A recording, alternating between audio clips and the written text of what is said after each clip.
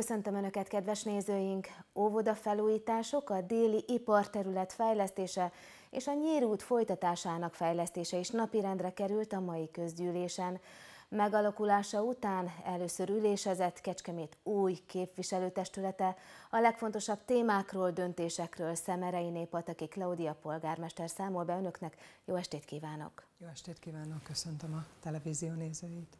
Megalakulása után ugye először ülésezett és döntött több témában az új képviselőtestület. Mit kell tudni erről az új testületről, milyen az összetétele?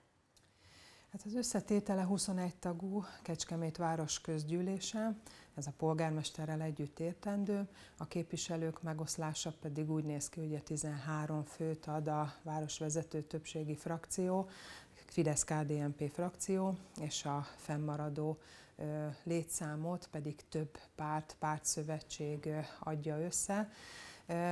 A közgyűlési döntéseknél ugye elsősorban az a mérvadó és az a meghatározó, hogy vannak olyan rendeleteink, vannak olyan szabályozásaink, amit többséggel, de van olyan, amit minősített többséggel kell elfogadnunk. Így azzal, hogy a Fidesz-KDNP képviselőre és továbbra is nagyon markáns, meghatározó létszámmal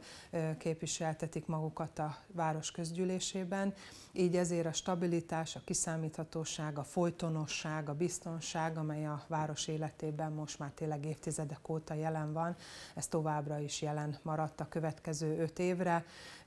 Nem kell újra gondolnunk stratégiai dokumentumokat, nem kell változtatnunk, nem kell merőben újra összeállítani a struktúrát, a személyzeti feltételeket, mert más városok most azért ezzel el vannak foglalva, és ez azért komoly időt, komoly energiát vesz ki a város életéből. Nekünk az a jó, hogy egy viszonylag stabil, ismert arcokkal,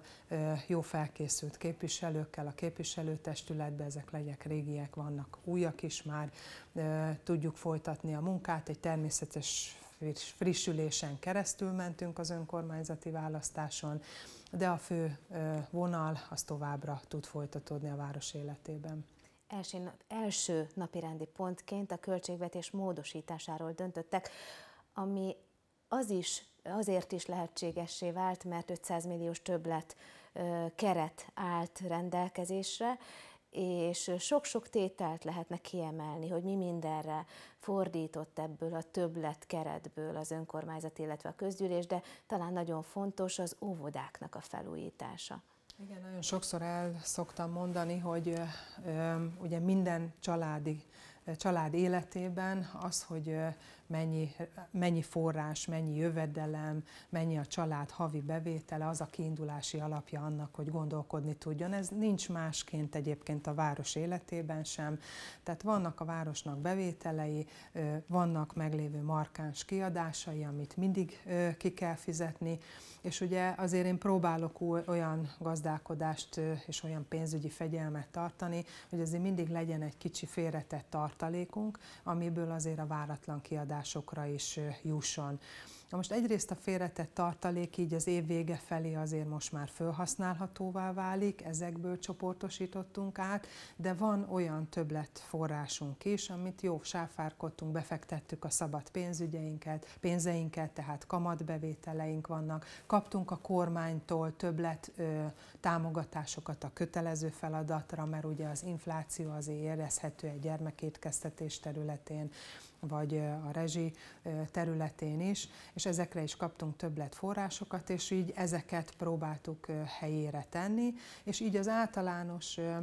tartalék és a többletbevételnek köszönhetően pedig még mindig fejlesztésekben gondolkodhatunk, így van lehetőség arra, hogy az óvodák energiahatékony felújítása mellett más felújításokat is el tudtunk végezni, tehát nem csak kifejezetten a nyílászára és az energia rendszer megújításáról beszélünk, és a homlokzat tető szigeteléséről, hanem jut forrás most már azért a belső kisebb illemhelységek, szociális helységekre, vagy akár a kertekben lévő játszóeszközök felújítására, teraszburkolatok cseréjére, és az az, az óvoda, ahol beavatkoztunk, ahol egy nagy léptékű felújításon mentünk keresztül, azokat nem hagyhatjuk úgy, hogy ilyen aprós szépészeti beavatkozások nélkül adjuk át az óvodát, hiszen az úgy nem kerek, nem egész, és erre is az a szerencse és az a jó hír, hogy a város költségvetése erre felezetet tudott biztosítani közgyűlésen elhangzott, hogy odafigyelő és törődő magatartást tanúsít az önkormányzat az óvodákkal kapcsolatban, mely óvodák újulhattak meg a legutóbbi időben, és mi mindennel jár ez együtt? Több mint 50 helyen működtet a város óvodát, és ugye már ez egy 2018 óta zajló folyamat, hogy nagyon intenzíven ezt az 50 helyet minden évben több óvodát fel tudunk, komplexen meg tudunk újítani. De az utolsó három óvoda, a Ceglédi úti óvoda, a Forradalom utcai óvoda és az Ifjúság úti óvoda, ami elkészült most a nyár folyamán, Egyrészt köszönettel tartozom a szülőknek és az ott dolgozóknak, munkatársainknak, hogy nagyon profi módon lemenedzselték ezt a felújítást, nem egyszerű, és nem egyszerű a kicsikkel, a szülőkkel máshova menni, máshova logisztikázni, de egy nagyon jó módszertant kialakítottak, a csoportot egybehagyták, az óvónők ott voltak a gyermekekkel. Másrészt pedig ugye egy ilyen felújításnál jó, hogyha adunk egy kis friss, új arcot az óvodáknak, és így elindítottunk egy olyan folyamatot is már 18-ban, 2018-ban, hogy a Kecskeméten méltán híres magyar népmese sorozatból próbáljunk elemeket, szereplőket, helyzeteket, értékeket kiemelni, és azt szerint elnevezni az óvodáinkat, és legyünk büszkék rá, hogy a Kecskeméten a magyar népmese bölcsőjében, hazájában zajlik a mesefoglalkozás nagyon szépen alakul Kadafalván a bölcsöde is, az őzgidácska bölcsöde. Már látszik a kapu fölött a szép elnevezés, a rajz. Hogyan áll ennek a beruházásnak a jelene, jövője, mikor fogják átadni, lehet ezt már tudni? Igen, ahogy látom, a kivitelező nagyon feszített tempóba végzi a munkáját, és ugye december végéig kell, hogy befejezze, ezért láthatóak ezek a nagy erőfeszítések. Úgyhogy így is készülünk rá, hogy december végéig a kivitelezési szakasz le tud zárulni, és akkor így már a tavasz folyamán el tud kezdeni a bölcsöde abban gondolkodni, hogy hogy tölti fel munkatársakkal, munkaerővel, gyermekekkel a Kadafalvi bölcsöde életét. És Kadafalván az a jó hír egyébként, hogy ott az óvodai bővítésre is van forrása a városnak, és azt is el tudjuk kezdeni. Úgyhogy alapvetően azért az, a, az az élet, amit átmozdított a város Kadafalván, hogy olcsó telekvásárlási programmal beindította, megújította a Kadafalvának és környékének, hiszen nem csak a falubeli, hanem a környező település részeinken is gomba módon épülnek az új lakások, új házak, csokos támogatásnak is köszönhetően, tehát ott szépen érezhető a város népesedésének a gyarapodása, a családok megjelenése, és tehát elsősorban mire fókuszálunk a gyerekeknek a biztonságos elhelyezésére, és hogyha ezzel meg vagyunk, akkor utána tudunk lépni egy nagyobbat az infrastruktúrális fejlesztés területén is az infrastruktúrális fejlesztéshez is kapcsolódik az a kérdéskör, ami szintén előjött a közgyűlésen, a déli iparterület fejlesztése. Ez az egyik legdinamikusabban fejlődő városrész az elmúlt években. Napról napra változik szinte az arculata, hiszen jönnek az újabb és újabb beruházók, épülnek az utak. Hogyan változik ez a napokban, ez a terület? A napokban épp az elmúlt héten adtuk át, adtunk át egy újabb gyártócsarnokot, amely szintén az autóipari beruházásokhoz köthető beszállító érkezéséről adott hírt, és ez érzékelhető, hogy miközben azért van a világban egy gazdasági válság és egy autóipari megtorpanás, ez Kecskeméten nem látszik. Tehát valamiért mi szerencsések vagyunk kecskemétiek, hogy az az autóipari átrendeződés, megtorpanás, ami látható a világ minden egyes pontján, és érzékelteti hatását a világgazdasági számokban, nekünk egy prosperáló jövőképet mutat, mert szerencsére egy olyan zászlós hajóval, mint a Mercedes, olyan jó stratégia alkotással, mint a ö, magyar régi hagyományos vállalataink is, hogy ne csak a Mercedes-t említsem, hanem az Univert is, egy nagyon jó üzleti filozófiát alkalmazva fejlődnek azok a vállalkozások Kecskeméten, megtalálják az új piaci lehetőségeket, az új réseket, és ezzel biztosítják a város jövőjét, a megélhetését, a munkahelyeket, a bővülését, és azokat a változásokat, fejlődéseket, amit az infrastruktúra területén látunk. De hát ehhez ugye természetesen nekünk is hozzá kell járulni, úthálózatok fejlesztésével, járda szigetek, kerékpárutak elérhetőségével, közvilágítás kiépítésével, alapvető infrastruktúra kiépítésével. Úgyhogy itt is meg kell találni az arányt, az egyensúlyt, hogy ne csak a, az ipari, a gazdasági szereplők kapjanak, hanem a lakosság is, de valahol mégiscsak a, a gazdaság indukálja a többletbevétel után, többletbevétellel azokat a lehetőségeket a városba, amit mi a közérzet javítására tudunk fordítani. Tehát ha prioritási sorrendet kell felállítani, akkor ők vannak elsősorban az első, mert ők képezik a bevételeit a városnak, belőlük tudunk az ő bevételőjükből, adójukból tudunk a közszolgáltatások minőségi javítására költeni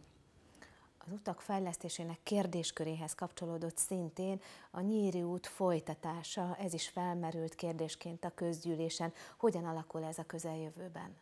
Hát a közeljövőben ugye felgyorsítja a folyamatot az a helyzet, hogy a M44-es és az M5-ös Lajos-Mizsei csomópontjánál a város északi részén Budapest irányában ugye lezárásra került a csomópont, illetve forgalmi korlátozásra, Viszont mindig is elmondtam, hogy van egy észszerű logika, hogy mi miután következik a városban az útépítések kapcsán, így is komoly feszültséget okozunk a közlekedésbe, nem hogy még, hogyha úgy minden szinten bombáznák a város közlekedési infrastruktúrájának a fejlesztését. És miután most már négy bejárata van városunknak az autópályáról, ezért egy most lezárásra került, de a másik három bejáraton keresztül elérhető a város, illetve kifelé megközelíthető az autópálya. És hát a következő bejáró ugye az a Nyíri út felé, illetve a Ladánybenei út felé érkező autópálya lejárat, ami amit valószínűleg egy sokkal nagyobb és intenzívebb forgalommal fognak használni a következő hónapokban, és ezért is örülök neki, hogy a Nyíri út folytatását sikerült elkészíteni, szintén találtunk rá többletforrás, amiből megépítettük a szilárd burkolatú utat, kiszélesítettük, stabilizáltuk, és már a tavasz folyamán elkészült a járdára vonatkozó tervezői dokumentáció is, és most, hogy van többletforrásunk, mert azért ezt hozzá kell tenni, hogy azzal, hogy érkezett többletbevétel a város költségvetésébe, itt tudjuk megtenni azt, hogy azt a közel 100 milliós nagyságrendű járdaépítési feladatot, ami ott másfél kilométer hosszan jelentkezik, azt akkor meg tudjuk építeni, hiszen ott egy sokkal intenzívebb forgalomra kell majd számolni a következő időszakban. Örökségvédelmi támogatási rendszerről döntött még ma a közgyűlés. Mit jelent ez, kiket kívánnak ezzel támogatni, segíteni? Ugye ez egy régi programunk, és annak örülök, hogy a Kecskemét belvárosában meg tudtuk védeni azokat a régi szecesszió idejében, a század elején épült gyönyörű szép épületeinket, amelyek a belváros különböző utcáin láthatóak, és még sok kecskemétinek fontos, hogy ebben a minőségben, abban a régi kultúrájában, színvonalában megújuljanak ezek az épületek, és ehhez próbálunk egy kisebb támogatást biztosítani. A Covid járványig ez minden évben folyamatos volt. Elsősorban magánszemélyeket támogatunk ezzel a programmal, hogy az a homlokzati többlet kiadás, ami egy normális épülethez képest többe kerül a díszítettsége, a nyílászárója, a festés rendszere, annak a szép épületeknek, azzal járuljunk hozzá, hiszen azért mégiscsak ők a környezetünket, a város lakóinak a szép érzéket, érzetét is javítják, nem csak a egyszerű kockaházak jelenlétével a városban, egy igazi szép belvárosa van Kecskemétnek, és ennek a védelmében hoztuk létre ezt az alapot, folytatjuk egy 20 milliós keret pályázható év végéig, jövő évben felhasználható ez a keretösszeg, és megnyitottuk a lehetőségét nem csak magánszemélyek, hanem civil szervezetek részére, és hogyha van valami olyan köztéri alkotás, ami egy közösség számára fontos, akkor a közösség pályázati rendszerén keresztül is tudjuk ezeket a régi műemlékeket akár felújítani. Jó néhány képviselői indítvány is szerepelt a mai testületi ülés napirendjei között, szám szerint azt hiszem kilenc. Ennek kapcsán merült föl egy olyan téma, ami elég sok képviselőt is megmozgatott, érdekelt, és nyilván a lakosság körében is számottevő visszhangja van, mégpedig a hajléktalan probléma. Polgármester asszony ezügyben is kifejtette a véleményét a mai testületi ülés előtt. Igen, ezzel küzdünk egy ideje, és ez egy, hogy mondjam, egy édes teher a város részére. Ugyanis azokban a városokban, akik nagy léptékben fejlődnek, egy jó mód látható, azokban a városokban ez a probléma, a hajléktalanok problémája egyre intenzívebben jelen van, hiszen a város lakosság, a társadalma, ahogy, ahogy az utcákat járjuk, találkozunk ezekkel a szervezett hajléktalanokkal, mert ők nem a kecskeméti hajléktalanjaink, hanem egy szervezett hajléktalan rendszerről beszélünk, ahol ide hozzák őket az ország más részéről, mert itt számíthatnak arra, hogy a kecskemétiek megsajnálják őket, kaphatnak jelentős pénzügyi keretet is ahhoz, hogy ebből kvázi meg tudjanak élni, és ezt kihasználják. Tehát erről őszintén kell beszélni, mert igazából a, a, a, probléma, a gyökere az innen fakad hogy emberségesek vagyunk, emberségesek akarunk lenni, de erre most már világosan látható, hogy egy szervezett rendszerről beszélünk, akik kihasználják a kecskemétieknek a jó indulatát és az emberségét. Nagyon nehéz itt a határt meghúzni, hogy hogy, hogy, hogy, hogy viselkedjen egy ember, de mi kecskemétiek okosak vagyunk, és bízom benne, hogy előbb-utóbb nem az megy a városról el hírbe, mert ez is egy marketing hír, hogy érdemes ide a városba hozni szervezetten a hajléktalanokat, mert jó bevétel termelő képességük van, hanem tényleg visszatérhetünk arra, hogy az abszolút rászorult embertársainkat a meglévő hajléktalan ellátórendszerben el tudjuk látni, hiszen van ilyen rendszerünk, egy jó rendszerünk, csak ez felborult az utóbbi években ilyen, ezzel a nagy irányú fejlődéssel és jó móddal, ami a városban érezhető. Napirend utáni felszólalások vannak a testület előtt mostantól, a napirend előtti felszólalások helyett. Ennek kapcsán került elő az iparűzési adónak a kérdésköre. Kérdésként felül, merült fel, hogy jövő évben milyen mértékű iparűzési adóbevételre számíthatunk, hiszen ez a terület is változásban van. Erről mit mondott polgármester asszony? Igen, abszolút változásban van, és itt is próbáltam az alapokat tisztába tenni, hogy itt most nem az a probléma, hogy a kormány elveszi az iparűzési adót, hanem megint egy különleges helyzetben van Magyarország. Mert az Európai Uniós csatlakozásunkkor már 2004 óta kifejtették, hogy a Magyarországon alkalmazott helyi iparűzési adórendszer az nem támogatandó az Európai Unióban. Ez egy olyan adó nem, amely a vállalkozásokra plusz terhet ró, és ezt vezesse ki Magyarország. Na de hát nem olyan egyszerű az, ezt kivezetni, hiszen ennek egy tradíciója van, ennek egy beágyazódott rendszere van, ez a helyi gazdaságot erősíti, tehát helyett egy teljesen más rendszert kell kialakítani, és miután ezt az adó